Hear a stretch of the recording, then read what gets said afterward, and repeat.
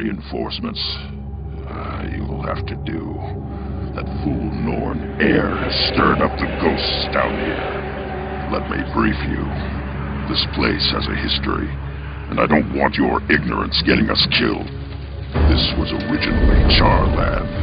The humans pushed us out and built Ascalon on top of it. Over 200 years ago, we took our land back.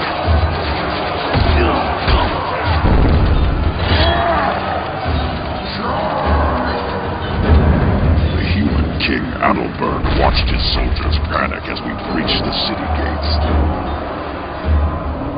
Facing certain defeat, the doomed king refused to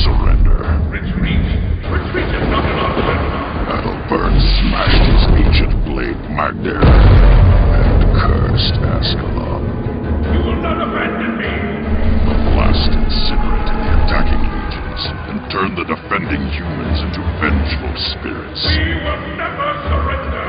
Never! Ghosts see the living as invaders. They show no mercy and no weariness, only blind hatred. Adelbern's hatred. And now, Eir's gone right into the dead king's lair. What a mess. We're going after her. She's causing trouble, and I don't want anyone dying because of her foolishness.